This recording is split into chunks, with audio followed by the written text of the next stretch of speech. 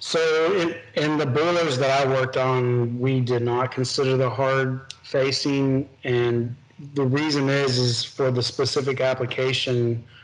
Um, the units that I worked on were uh, high ash coals and um, extremely abrasive ash, and the um, the hard surfacing creates a ir- irregular uh, pattern as far as uh, smoothness, if you will, and then that sets up little little locations for eddies. Um, there were areas in some of the bores that I worked on that were hard faced, and uh, we would go in every year and actually remove that hard facing based off of uh, priority because it was starting to gouge into the uh, tubes. When you start doing pressure part replacement and, and circulating fluidized bed boilers, you run into all kinds of issues because you have to do tube alignment. Um, you there's certain procedures that should be used. Um, you um, if the if the tube alignment's not done correctly, you're going to end up with erosion or gouging issues for the for the rest of the life of those pressure parts. That's uh, extremely difficult to fix. The most recent facility that I was at was a was a uh, was a biomass unit. We burned 100% sorted construction and demolition debris. Uh, very challenging, very challenging environment. Um, we uh, we had not only an, a, an erosion issue in the uh, combustor, uh, but we also had a, uh, a corrosion aspect to that. Um, and so we had really a corrosion erosion mechanism going on there. Um, and it was not only affecting small, the typical small areas uh, around the refractory, you know, the refractory tube interface, cyclone inlets, um, and and and and those specific areas. We were seeing tube wastage over large areas of the of the uh, uh, unit. So we had a we had a very large area that we had to protect. Um, and uh, in in in doing that, um, you know, the approach the approach really became to prevent us having the to get to the point where we had to do large panel replacements. Um, and you know, to your point of the outage cost, um, you know, when you're looking at tens or hundreds of thousands of dollars a day in terms of lost production. Uh, you know, your point is very well taken in that in that the the uh, um, the actual cost of the maintenance, the actual cost of the application, the actual cost of the labor is really small in comparison to the lost production costs. So anywhere you can anywhere you can shave a day on the outage, uh, even if it costs more to put to to to, to shave that outage time down, there's a there's a no-brainer uh, cost return.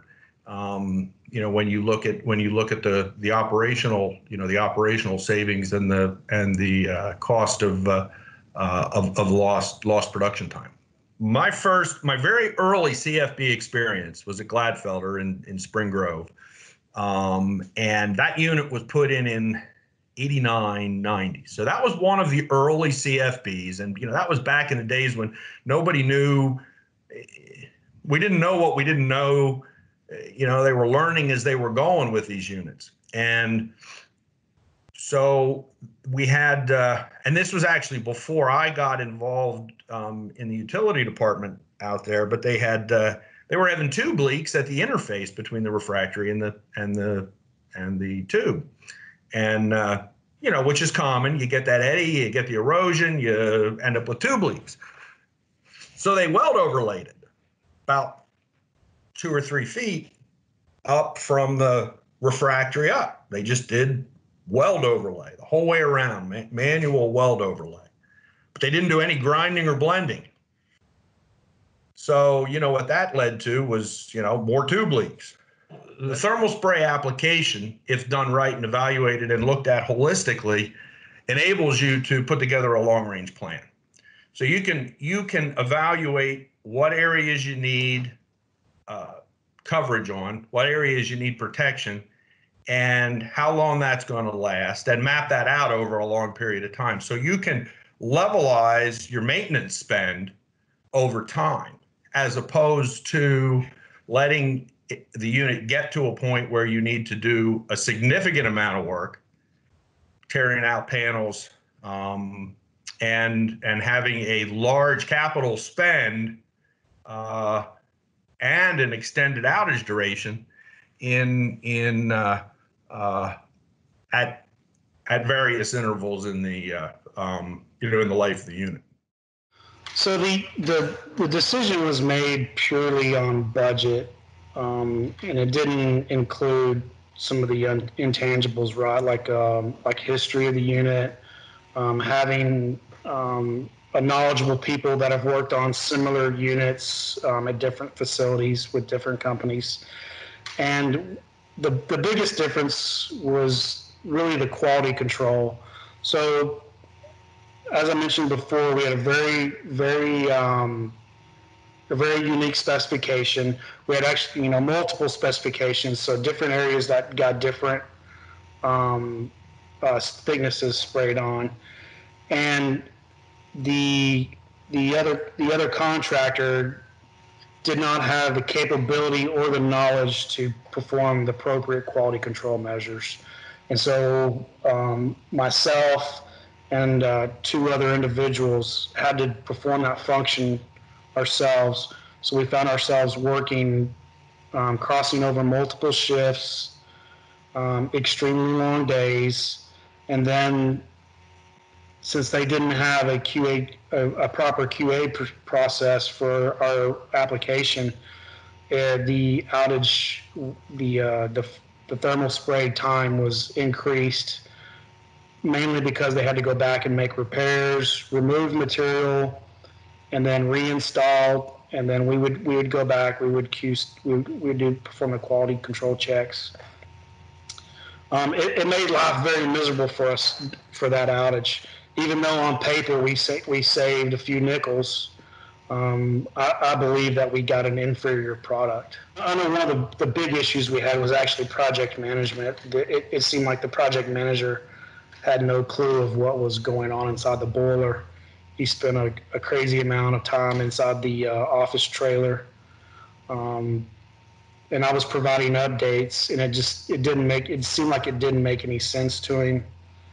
Um, you know, it, was, it ended up being an ultra frustrating uh, project for myself and the team. I've looked at a lot of other companies. Uh, we installed um, at another at one of the facilities I worked at. We installed a uh, panel that had a competitor's shop sprayed application on it. A month later, we had a tube failure, not in that area, but when I went over to do the inspection, that cladding was entirely gone, 100%. Like you couldn't even tell that it had, it had been flamed, to, that it had been um, thermally sprayed at all. So that, that material obviously did not work. The other is just the quality. Um, there, there's nothing worse on the planet than installing. You, you want a 20, say you want a 20 mil spac. You go in, you do your inspection, and it's it's five mils. But there's nothing worse than that. And then now you're having to move resources back to an area to get it sprayed up to thickness. And then what will usually happen um, is they'll actually overspray it. So then it'll be too thick. And now you have to remove material. So you just end up chasing your tail um, a lot on, on, on the quality.